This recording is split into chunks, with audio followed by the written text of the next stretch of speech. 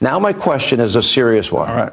Okay. Is Joe Biden up to the job of being president? And as a little reminder, take a look at your president in the monitor. And there's an awful lot of stories that are told, probably a bunch apocryphal about uh, um, uh, the former prime minister uh, like to take baths up there. Anyway. Wandering around at three in the morning. Yeah, Winston Churchill. By the way, I met with uh, who are those guys that fly over shortly? You heard of them, haven't you?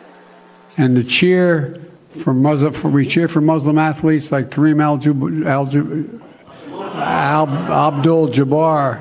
I know him, and I did mispronounce his name.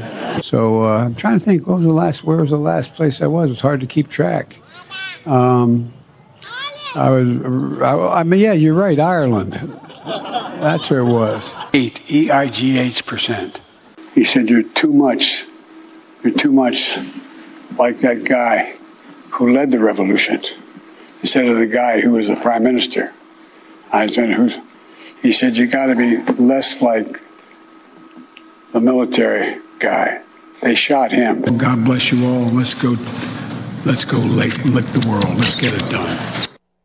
And then you got Joe Biden who's having a hard time standing up. Take a look at that one. Standing up. Take a look at that one.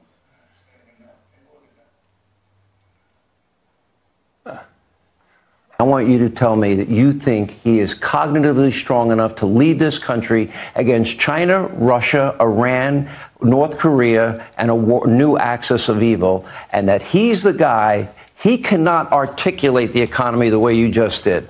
Yeah, but uh, I don't think he's capable. I know he's capable. I see results. I've seen a masterclass in results the last few years.